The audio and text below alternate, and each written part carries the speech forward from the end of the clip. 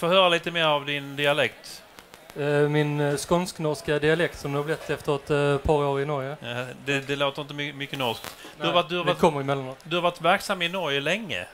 Ja, Ja. i fem år nu denna perioden. Längtar du inte hem? Jo, det gör jag. Emellanåt.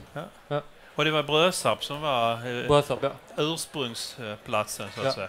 I den skånska myllan. Är du nöjd med, din, med ditt käk? Ja, smakerna sitter. Det gör det. Eh, Men jag var lite tidig. Då ska vi kolla det.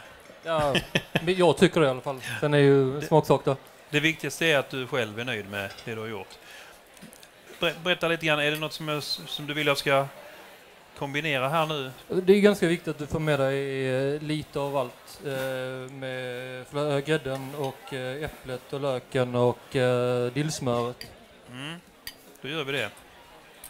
Och äpplet som ligger där bak så får lite frukt i det.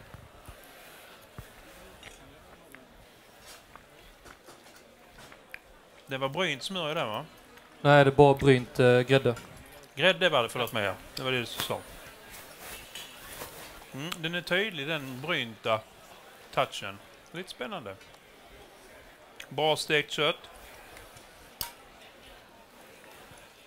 Ta en liten bit kött till. Och så tar vi Bara lite, ett. Lite den löken där och den goda dillsmöret. Dillsmör? Ja, Hur smör är gott.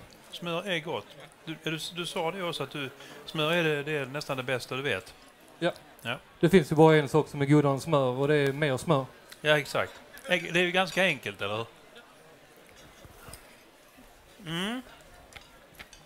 Juryn har att göra kan jag säga. Oerhört bra. Gott. Mums. Vi håller tummarna Mikael. Applåd för Mikael. Tack så mycket.